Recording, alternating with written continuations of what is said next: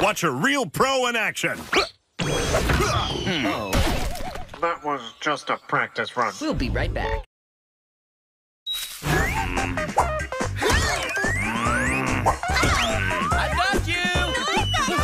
Now back to the show. Whose idea was this?